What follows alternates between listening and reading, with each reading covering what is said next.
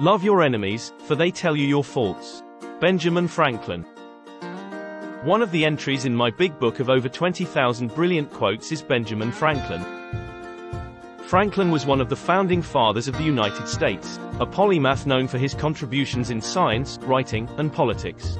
Born on January 17, 1706, in Boston, Massachusetts, and passed away on April 17, 1790, in Philadelphia, Pennsylvania, a little known fact about him is that Franklin invented a musical instrument known as the glass harmonica, which produced music by rubbing one's fingers on glass bowls of different sizes.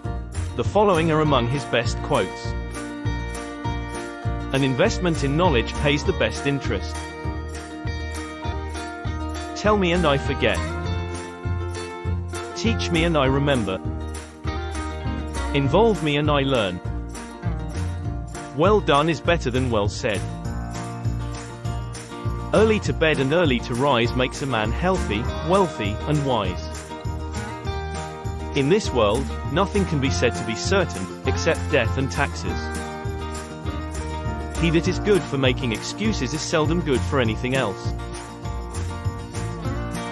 Distrust and caution are the parents of security.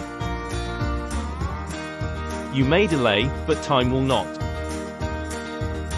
If you would be loved, love, and be lovable. Honesty is the best policy. Guests, like fish, begin to smell after three days.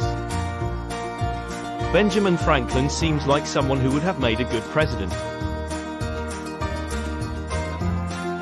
Surprising, that he did not. One more from Mr.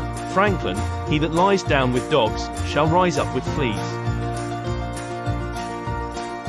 Thanks for watching.